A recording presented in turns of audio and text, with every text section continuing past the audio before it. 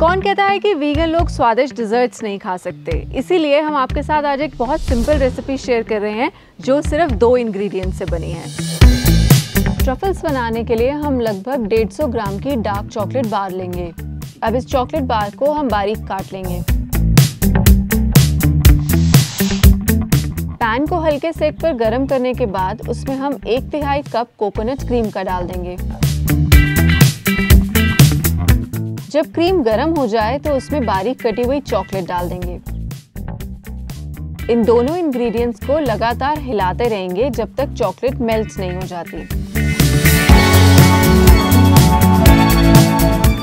अब इस मिक्सचर को एक बोल में ट्रांसफ़र कर लेंगे और फ्रिज में लगभग एक से दो घंटे तक के लिए सेट होने के लिए रख देंगे।